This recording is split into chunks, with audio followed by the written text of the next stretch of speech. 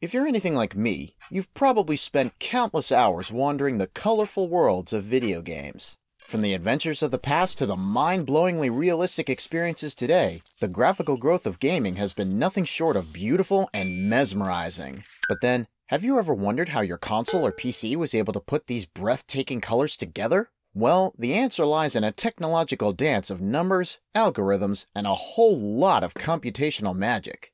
The bedrock of video game graphics is the humble pixel. Think of pixels as the building block of all digital images. These tiny squares of color, when put together, creates the canvas upon which our favorite games are painted. But these pixels aren't just mindless or random dots. They're the result of a complex process that involves converting the game's data into a visual representation. You can think of each pixel as a little performer on a stage, waiting for its team members to shine, and imagine that the game engine is the play director, telling the little pixel actors where to move and stand on stage to create the scenes we see in a play. Each pixel helps to complete the picture. Now, you might be thinking, okay, so pixels are the building blocks, but how do they create those lifelike 3D environments? Well, my friends, the answer lies in the magical world of polygons. Imagine a 3D object, like a character or a tree, as a collection of tiny triangles. These triangles, known as polygons, are the fundamental building blocks of 3D graphics, and they're what give our favorite games their depth and dimensionality. As the game engine processes the game's data, it creatively arranges these polygons, creating the intricate 3D models that populate the virtual world. But it doesn't stop there. The game engine also calculates the lighting, textures, and shadows that bring these polygonal models to life, ensuring that every detail is as realistic and immersive as possible. So now you're probably wondering, if it's all about pixels and polygons, how do these games move so smoothly? That's where the power of frames comes into play. Whenever you see a new image on your screen, you are looking at a frame. And in the world of video games, the illusion of movement is created by rapidly displaying a series of these frames, one after the other, at a rate that our eyes can't even perceive. The game engine is responsible for this frame by frame magic, quickly calculating and rendering each new image that creates the seamless, fluid animations that we all enjoy. And the faster the frame rate, the smoother the experience. That's why modern consoles and PCs can deliver such buttery smooth gameplay. They're able to churn out frames at an astonishing pace, often reaching 60 frames per second or higher, depending on the game. But how do these gaming machines have the power to conjure up all these pixels, polygons, and frames in such a short amount of time? The answer lies in the incredible hardware that powers our favorite consoles and PCs.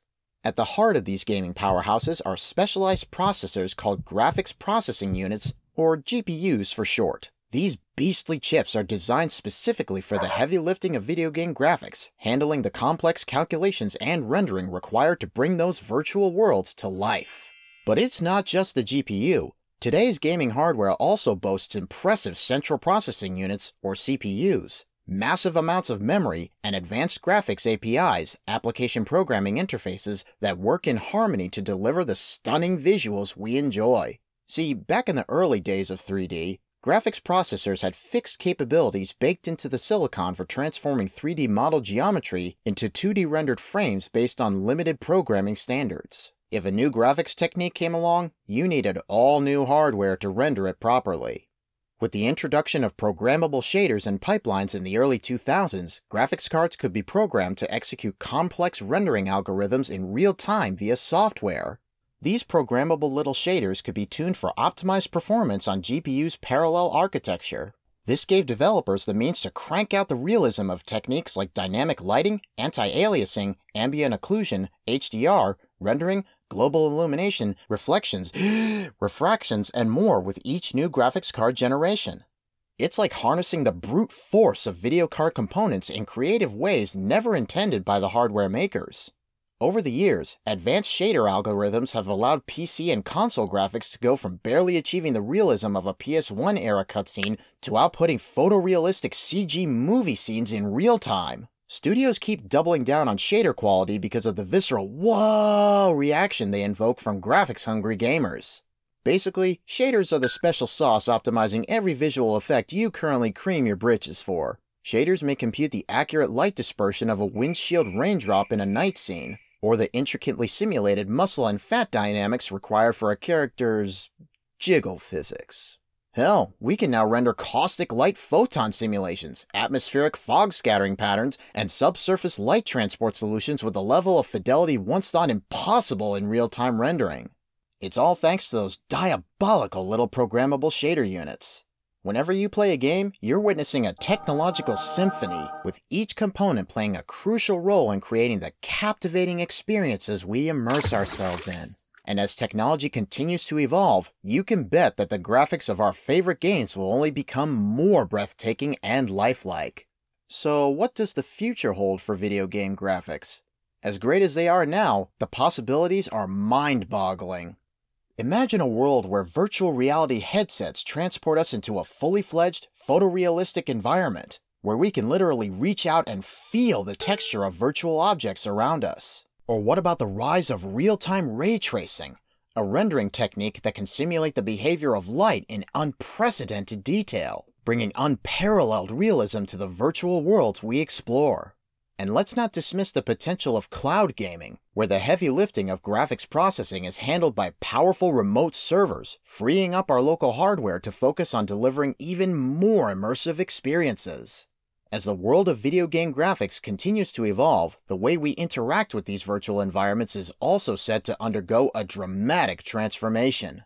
Picture a future where our interactions with games are no longer limited to the traditional controller or keyboard.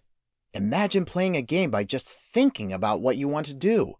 Brain computer interfaces, BCI, are like magic mind control for games, letting you blur the lines between the real world and the game. And what about the rise of haptic feedback, where our sense of touch is integrated into the gaming experience? Imagine feeling the recoil of a virtual firearm or the texture of a virtual object as you interact with it. The possibilities for enhanced immersion are endless. The future of gaming interfaces is not just about the visuals, but about bridging the gap between the digital and the physical, creating experiences that truly feel alive and responsive to our every moment and gesture. The evolution of video games has been a truly remarkable journey, one that has taken us from the humble pixels of the past to the breathtaking, photorealistic experiences of today. And the best part about this journey is that it never ends. While the pursuit of photorealism is an exciting frontier, it's important to remember that video game graphics are not just about replicating reality. Some of the most captivating and memorable gaming experiences have come from developers who have embraced their creative vision and pushed the boundaries of what's possible with graphics. From the vibrant, cel-shaded worlds of Breath of the Wild to the striking, minimalist designs of Monument Valley, these games demonstrate that true artistry and innovation can transcend the limitations of realism. As we look to the future, it's crucial that we celebrate the diversity of visual styles and the creative risks taken by game developers. Whether it's the pursuit of realism or the embrace of bold, unconventional styles, the world of video game graphics will continue expanding the boundaries of what's possible. And with each technological leap, the potential for deeper, more immersive, and more captivating gaming experiences grows. So, my friends, keep your eyes peeled and your minds open, for the future of video game graphics is a truly limitless canvas, waiting to be explored by innovators and visionaries. If this pixel-packed ride through the mind-bending world of video game graphics has left you even more in awe of the digital artistry pumped out by your RBG-laden rig, show your support by hitting that like button, sharing your most jaw-dropping video game graphics moments in the comments, and subscribe for more deep dives into the tech that fuels our favorite interactive escapes.